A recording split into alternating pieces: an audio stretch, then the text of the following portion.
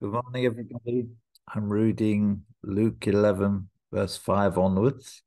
Then he said to them, Suppose one of you has a friend and goes to him at midnight and says, Friend, lend me three loaves, for a friend of mine who is on a journey has just come to visit me, and I have nothing to serve him.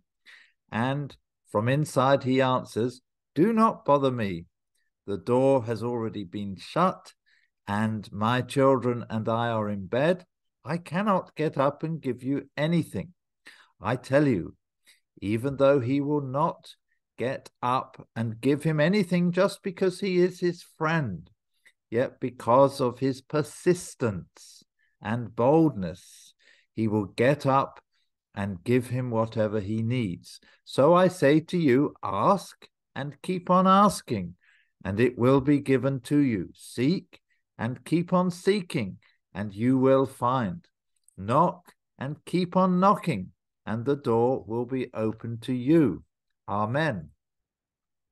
There is no doubt that Jesus has taught us to be determined and persistent in prayer. But at the same time, in Matthew 6 7, Jesus tells us, when you pray, do not use vain repetitions as the heathen do. Mere repeating words over and over in our prayers will not achieve anything. How then are we to persist in prayer?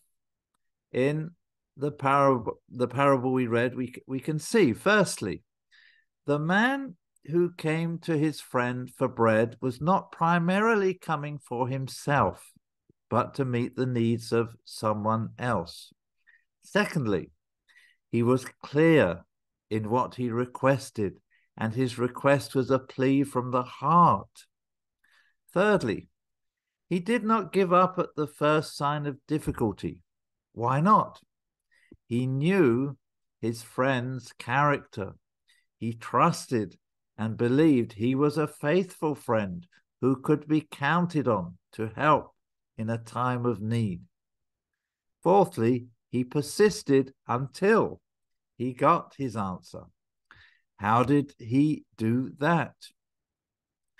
I think we can be certain he didn't stand at the door repeating over and over, Friend, lend me three loaves, friend, lend me three loaves.